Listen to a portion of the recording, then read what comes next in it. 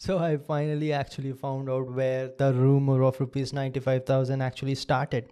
And it started exactly here. And it has been spread by department itself. No, I'm not saying that they are wrong, but listen carefully.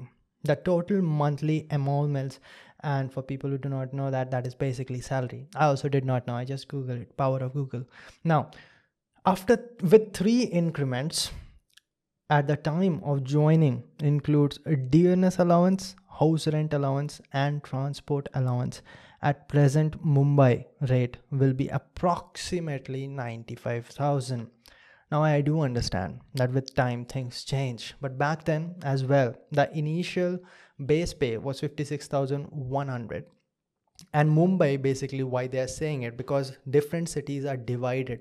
In india there will be grade a cities grade b cities grade c cities. So mumbai hyderabad would be a grade a city. Kalpakkam on the other hand would be a grade c city. Hmm, they are basically going to pay you lesser of hra and ta hra stands for house rent allowance ta stands for traveling allowance traveling it never made sense to me because petrol is of equal cost in mumbai and in kalpakkam. House rent allowance makes sense because houses for rent will be cheaper. For example if you go to a lower rate city then obviously let us say in ranchi you'll be getting the same house for let us say 4000 in bangalore the same house would be of 12000 15000 same like i mean 1 bhk 2 bhk all right? So in mumbai if you're having 56500 sorry 56100 and then HRA would be somewhere around 3 to 4%, and then TA would be close to 7%, something like that.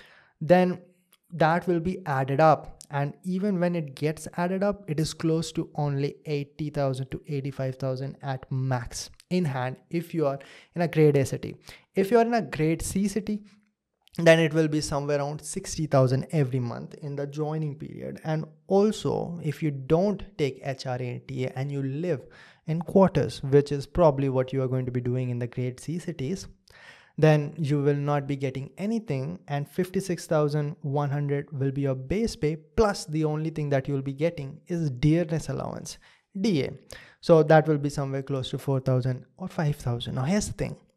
There's something which is called NPS, new pension scheme, and that is just compulsory for all. At least that is what we were told.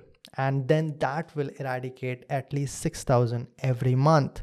So i have seen the salary monthly salary going as low as 52000 or 54000 and ask the honestly ask honestly to the central government employees and you are going to find that for example ask a person who is living in Sriharikota and just joined as a scientist c in isro. So there's a variation so don't always trust. This this does not always work and 95000 is the absolute peak. Nobody will actually get that much and also they will be adding chss card medical health and uh, don't confuse this with your in-hand salary. All right? Even engineering services people get the same.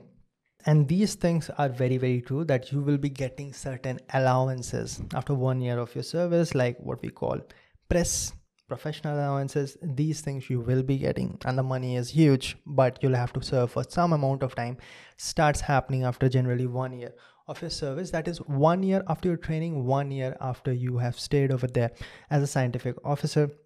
Then you start getting and these are heavy itself. For example in isro senior scientists do get up to like 2 to 3 lakh easily every year with these allowances. On the other hand these allowances were stopped during the covid situation. So that is also a variable. And it also depends on the research output or the output in general produced by a particular department. So iprc will be having different place and uh, let us say lpsc will be having different place or in a similar manner barc will be having different allowance and igcar will be having different allowance.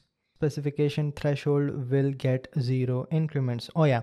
So it depends. The increments does matter on your performance in the training school or in this case for the mtech as well. I never really cared about that but it does matter and will not be that much. I know that toppers of the training school got some extra increments but it will not make that much of a difference like thousands of rupees. That's it. All right now they are getting into the whole selection process. They're going to basically talk about the written test and the interview. So let us get into that two step process basically the written test and the interview. The interview will be independent of the written test and the final selection will be based on your interview itself. The written test is just a qualifying round. The selection ratio would be 1 is to 20 that means if 20 people are called for the interview only one will be selected. If there are 50 seats then 50 into 20 you will be having somewhere around yeah 1000 people called for the interview. Okay so it is kind of official this year that they will be having training school in not only in BARC, IGCAR, NFC but also in RRCAT and there's another one which is AMD Hyderabad. So this is something new. DGFS of all the in the select specialization for July 2021